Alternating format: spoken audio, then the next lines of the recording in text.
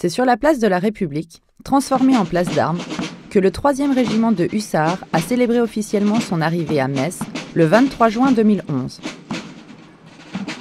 À ses côtés se trouvaient différentes unités de la brigade franco-allemande, dont le 291e bataillon de chasseurs allemands, récemment installé en Alsace. Cette cérémonie était présidée par le général de corps d'armée Perran, en présence des élus locaux et d'autorités allemandes.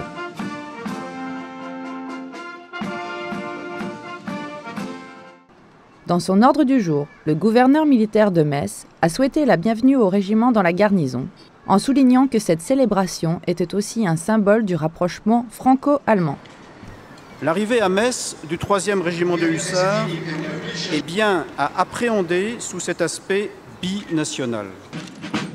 Cette prise d'armes s'est poursuivie par des tableaux retraçant l'histoire du régiment, créé en 1764 par le comte hongrois Esterhazy devant son descendant, le prince éponyme, qui tenait à être présent.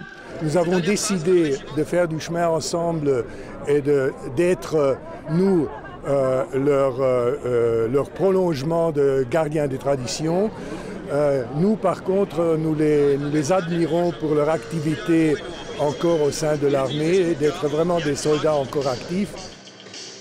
À l'issue, les militaires ont quitté la place en défilant sous les applaudissements des Messins, avec à leur tête le colonel Paris, ému de vivre sa dernière cérémonie. Parce qu'il y a euh, quelque part une petite, euh, je, le dis, une petite frustration de ne pas euh, ancrer le régiment dans les mois et à venir, dans cette belle ville de Metz où il y a tant à faire pour solidifier, consolider les liens qui viennent de s'établir. Mais ce sera le, grand plaisir de mon successeur de, mener toutes ces actions euh, que nous avons déjà initiées. Après avoir organisé le retour du régiment en France, le colonel a quitté son commandement le 29 juin pour laisser ses hommes aux ordres du lieutenant-colonel Rostin, qui devient le 79e maître de camp du 3e régiment de hussards, comme il est de tradition de nommer le chef de corps depuis la création du régiment. Vous reconnaîtrez désormais votre chef, le lieutenant-colonel Rostin, ici présent